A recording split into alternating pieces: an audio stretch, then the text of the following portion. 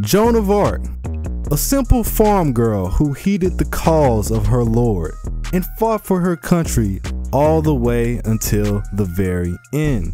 Her loyalty, however, is exactly what brought about her demise. Sold to the English by her own people, Joan was tried on false accounts of witchcraft and sentenced to be sauteed alive on a steak. Waifu shish kebab. Now, Joan wasn't too concerned about this. She died with no regrets. But the evil version of Gilles de Rais couldn't let this underhandedness slide.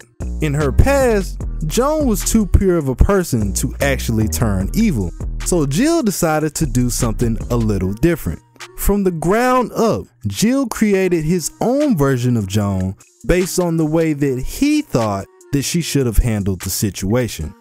Joan Alter, a replica of Joan placed in the ruler class and sent back into the Hundred Years' War to seek revenge on the same people that betrayed her.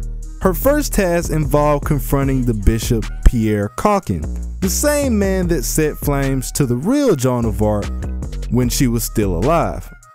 Hey, remember me? No, it can't be. I'll, I'll, I'll do whatever you want. Just don't hurt me. We eating pork chops tonight, fat boy. no.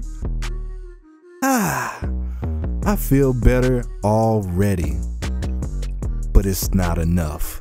Continuing to invoke the power of the Singularity's Grail, Jalter summons seven more fake servants to her side most of which being figures that also ended their lives on a controversial note.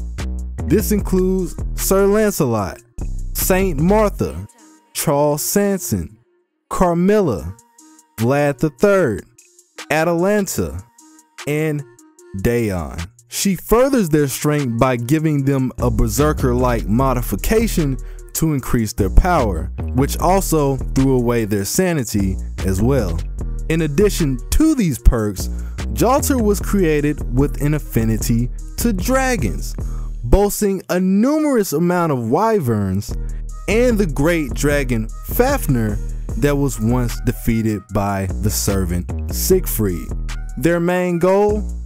Wreak havoc over all of France and run over anybody who tries to get in their way. A goal that was largely successful considering the fact that they were able to get rid of King Charles VII.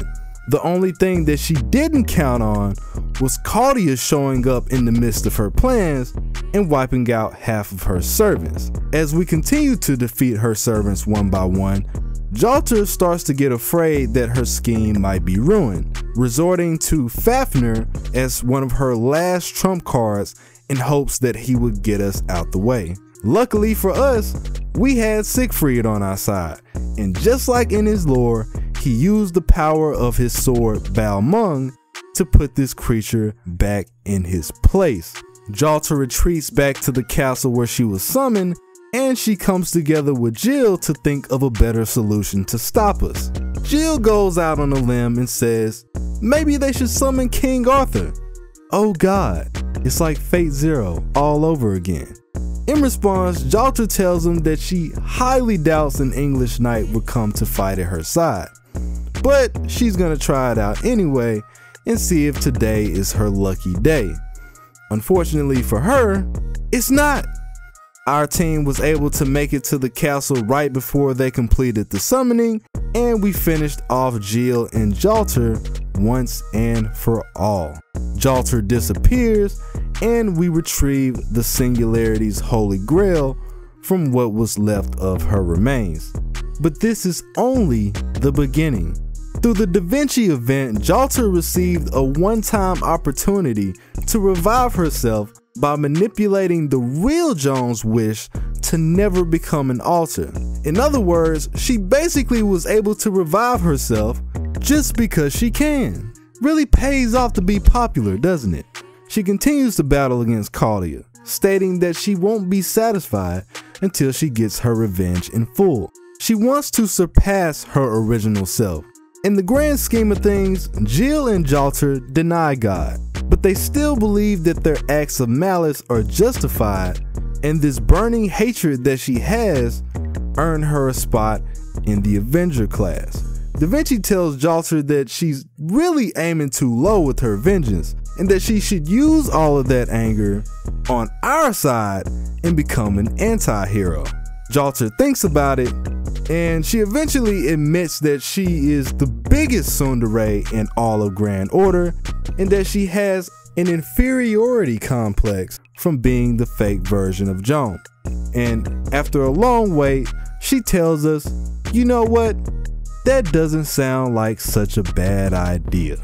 And just like that, we have Jalter. Well, not me, of course, because she refuses to come.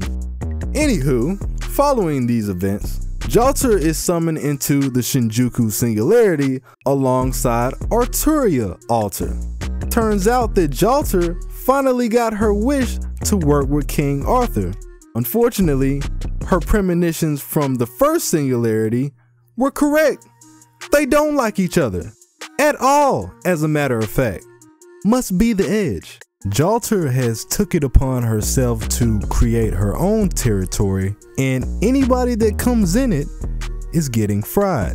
You stay on your side, I'll stay on mine, or I'll kill you. Very simple guidelines here. Eventually, Jalter found herself clashing with the fake Moriarty and taking a fatal wound because of it. At this point, she meets up with Ritsuka, who has partnered with Salter, forcing them to work side by side in the end. The past encounter that she had with the fake Moriarty left Jalter unable to trust the real one, despite Ritsuka telling her that he's good people. Even though he turned out not to be trusted anyway, but you get the picture.